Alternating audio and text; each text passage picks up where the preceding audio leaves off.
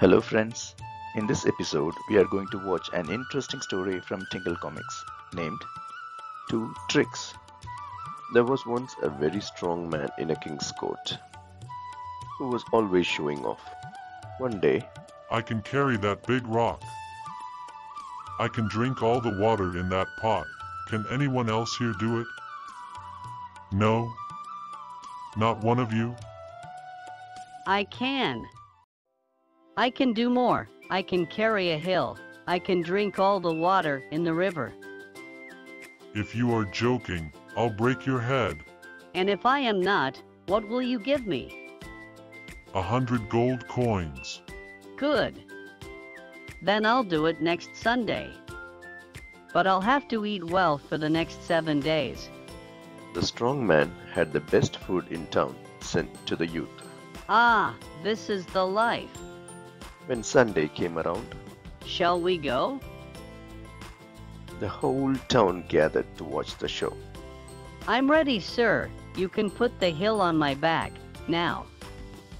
I can't lift the hill. You do it yourself. Oh, no. I said I would carry it, not lift it. Come on, lift the hill and put it on his back. All right, you win this round. But you still have to drink all the water in the river. The young man waded into the river. Where am I now, sir? In the river. He filled a jug from the river and drank all the water.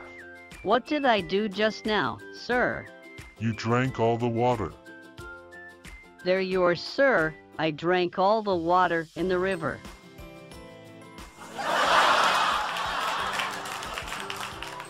What a clever fellow. You, you trickster. I, I'll. Don't be angry, sir. I did it just for fun. I don't want your gold coins. Well, you are very clever, my young friend. The king, too, was pleased. Here are a hundred gold coins for your trouble, young man.